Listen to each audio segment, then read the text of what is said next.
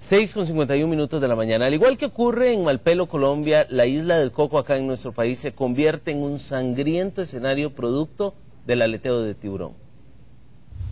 Esta es la isla del Coco, patrimonio natural de la humanidad, explorado por el legendario científico Jacques Cousteau décadas atrás.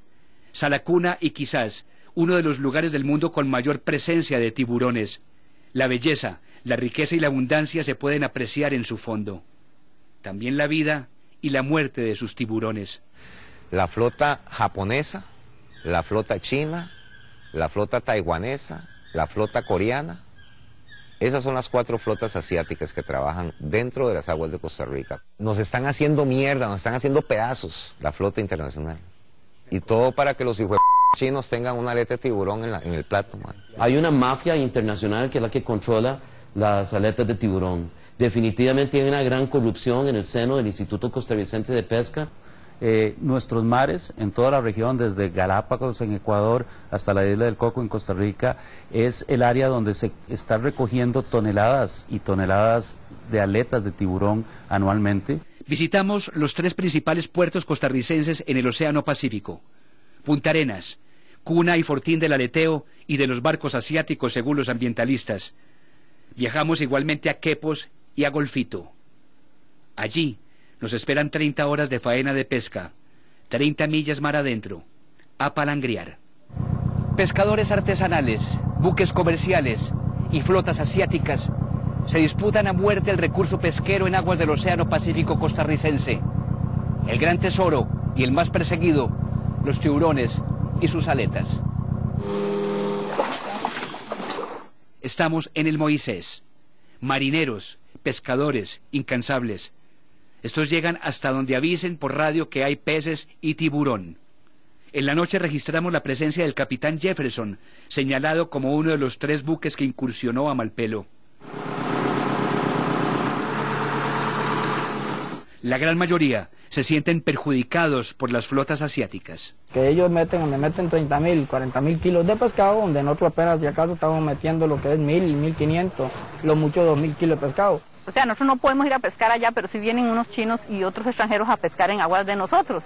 Entonces eso es lo que uno, un pescador, vive herido, porque yo pienso que los tienen muy abandonados.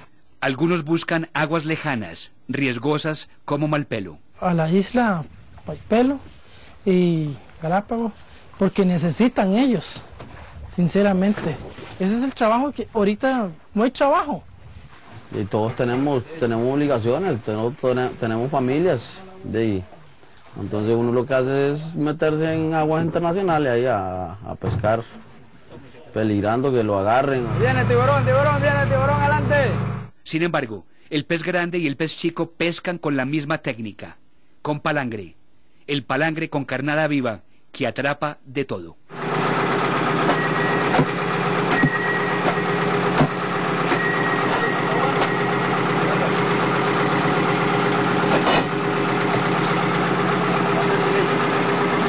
El aleteo se genera con un arte de pesca que no es selectivo.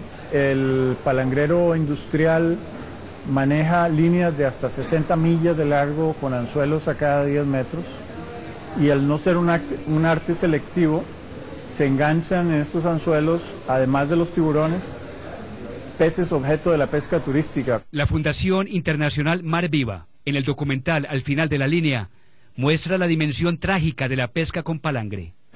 La industria palangrera mundial cala 1.400 millones de anzuelos todos los años. Se calcula que son suficientes como para rodear el mundo más de 550 veces. Costa Rica tiene prohibido el aleteo. Desde diciembre del 2010, por ley, las flotas asiáticas, grandes depredadoras de sus mares y autorizadas para pescar en sus aguas, son obligadas a descargar el producto en muelles públicos. Los tiburones tienen que llegar con las aletas adheridas. Hay 14 inspectores para los dos océanos. Durante años, descargaron en muelles privados. ¡No aleteo!